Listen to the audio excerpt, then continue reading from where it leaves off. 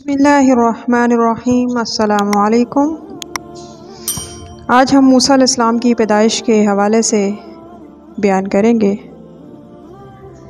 Video शुरू करने से पहले मेरी आपसे गुजारिश है कि हमारे चैनल को सब्सक्राइब करें, वीडियो अच्छी लगे तो लाइक करें और शेयर करें। आपकी मेहरबानी होगी। अल्लाह ताला ने चाहा कि वो चीज़ वाक़ हो जाए जिससे फ़रियौन डरता था और उससे बचता था। वो बच्चा पैदा हो गया। अल्लाह की तकदीर ने जिसके हाथ से फ़रियौन की बादशाहत ख़त्म करने का फ़ैसला कर लिया था।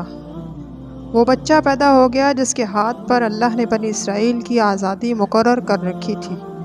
वो बच्चा पैदा हो गया जिसके लिए अल्लाह की तकदीर ने फ़ैसला कर रखा था कि वो लोगों को इंसानों की बंदगी से निकाल कर अल्लाह की बंदगी की तरफ़ लाए।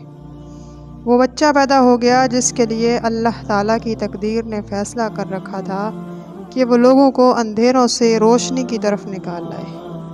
फ़रौन और इसके लश्कर की तो के ख़िलाफ़ इमरान के बेटे मूसा इस्लाम पैदा हुए। मूसा इस्लाम पुलिस और निगरानी फ़ोर्स की ख्वाहिशात के बरक्स तीन माह तक रहे। लेकिन मूसा इस्लाम की वालदा अपने खूबसूरत बच्चे के बारे में खौफ सदा हो गई। वो कैसे न डरती, जबकि बच्चों का दुश्मन घात लगाए है।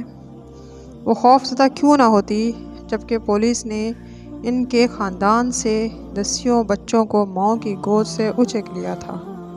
ये बेचारी माँ क्या करती और इस खूबसूरत बच्चे को कहाँ छुपाती?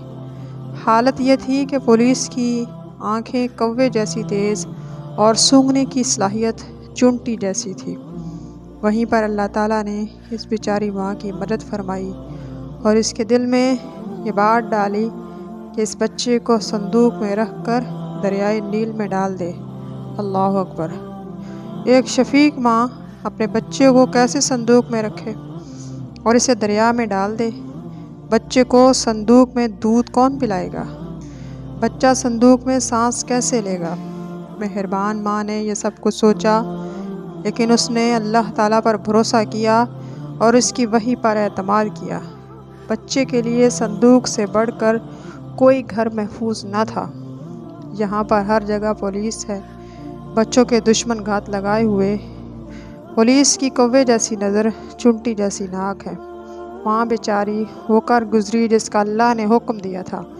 उसने अपना खूबसूरत बच्चा संदूक में रखा और उसे दरियाए नील में डाल दिया। माँ को ममता बेकरार हुई, मगर इसने सब्र किया, अल्लाह पर भरोसा किया। और हमने मूसा की माँ की तरफ़ वही भेजी कि बच्चे को दूध पिला। और जब तुझे इसकी जान का ख़तरा हो तो इसे संदूक में रख कर इसे दरिया में डाल दे और कोई खौफ ना करना और गम ना खाना। हम इसे तेरे ही पास लौटाएँगे और इसे रसूलों में बनाएँगे। दरिया नील के किनारे फ़रौन के महल से बहुत सारे महल थे। एक वो एक महल से दूसरे महल की तरफ़ जाता तो दरियाए नील के किनारे पर तफरी करता। वो एक दिन दरियाए नील के किनारे बैठा, लुत्फानंदोज़ हो रहा था और नहर की तरफ़ देख रहा था, जो इसके पास पाँव के नीचे बह रही थी और इसके साथ मलका मिस्र भी सैर कर रही थी और वो दरिया नील को रवा दवा देख रही थी।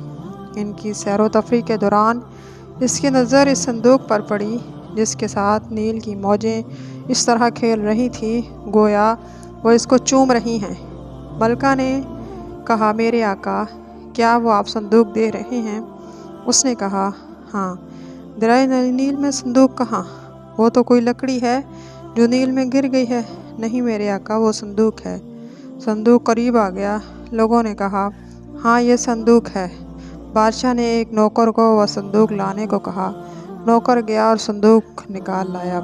संदूक खोला गया तो इसमें से खूबसूरत बच्चा मुस्कुराता हुआ, बरामद हुआ। लोग हैरान हो गए। हर कोई इसे लेता और देखता था। फ़िरौन भी हैरान हुआ, इसने भी इसे देखा। एक नौकर ने कहा यह इसराइली बच्चा है। बादशाह पर लाजिम है कि इसे कत्ल कर दे। मलका ने इसे देखा। बच्चे की मोहब्बत इसके दिल में घर कर गई।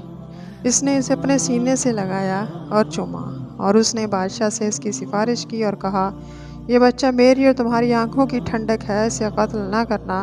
उम्मीद है कि यह हमें फ़ायदा पहुँचाए, या हम इसे बेटा बना लें। इसी तरह मूसा बिन इमरान फ़िरौन के महल में दाखिल हुए और फ़िरौन और उसकी पुलिस की ख्वाहिश के बरक्स ज़िंदा रहे, और पुलिस इस इसराइली बच्चे तक ना पहुँच सकी। हालाँकि इनकी कौवे की आँखें और चुनटी की नाक थी। अल्लाह ताला ने चाहा कि बच्चों का दुश्मन ऐसे बच्चे की परवरिश करे जिसके हाथ से इसकी बादशाही ही चली जाए। बेचारा फ़िरौन मूसा इस्लाम के बारे में गलती कर बैठा और इसके साथ इसके वज़ीर हामान और लश्कर से भी ख़ता हुई। आले फ़िरौन ने इसे उठा लिया ताकि वो इसका दुश्मन इनके गम का बायस है। बिलाशुबा, फ़िरौन और हामान, इनके लश्कर सब खताकार हैं। यह दुनिया खूबसूरत बच्चा महल का खिलौना और घर का खेल बना हुआ था। हर शख्स इसे लेता और चूमता, हर एक इसे प्यार करता, इसकी तारीफ़ करता था, क्योंकि मलका इससे बहुत प्यार करती थी। महल की रानियाँ इससे प्यार क्यों ना करती? महल के ख़द्दाम भला इससे क्यों प्यार ना करते? हर एक ऐसे लेता और चूमता, चूम के बच्चा खूबसूरत था। मलका ने दूध पिलाने वाली को तलब किया ताकि वो दूध पिलाए। वो आई और बच्चे को ले लिया, लेकिन बच्चा रोया और इनकार कर दिया। मलका ने दूसरी दूध पिलाने वाली को तलब किया। वो हाजिर हुई, लेकिन बच्चा रोता और इनकार कर देता।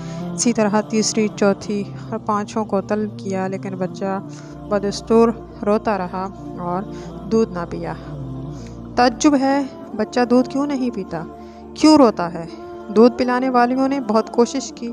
बच्चा दूध पी ले, ताकि मलका खुश हो और इसे इनाम हासिल करे। लेकिन अल्लाह ताला ने दूध पिलाने वालियों का दूध इस पर हराम कर दिया। बच्चा महल की गुफ्तु और घर का मशगला बन गया। है बहन, क्या तूने नया बच्चा देखा है? जी हाँ मैंने इसे देखा है। आम बच्चों की तरह नहीं है। वो दूध ही नहीं पीता। जब भी कोई दूध पिलाने वाली से पकड़ती है, वो रो लेता है। वो इनकार कर देता है। बेचारा कैसे ज़िंदा रहेगा?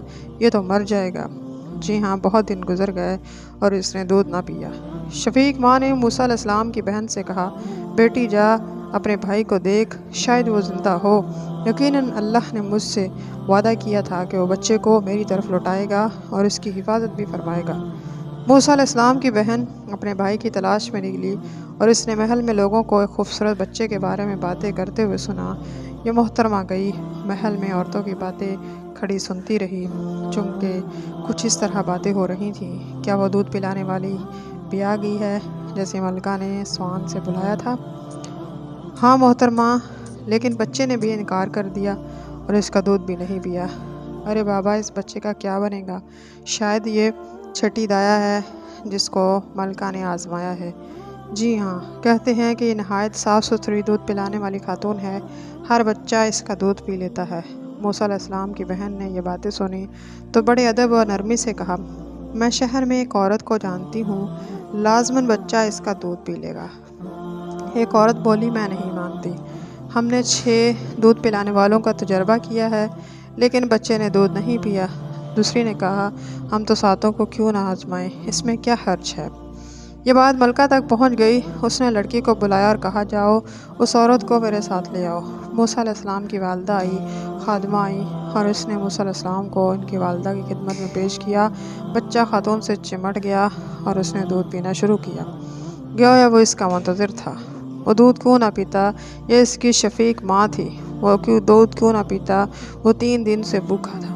मलका भी हैरान हुई और महल वाले भी फ्रियान को शक गुजरा। कहने लगा, इस बच्चे ने इस औरत को क्यों कबूल किया? क्या ये इसकी माँ है? मूसा सलाम की वालदा ने कहा, हजूर, मैं एक खुशबूदार और उमदा दूध पिलाने वाली खातून हूँ। हर बच्चा मुझे कबूल करता है। फ़िरौन खामोश हो गया और इसका वजीफ़ा जारी कर दिया। मूसा की वालदा अपने घर लौटी तो इनको गो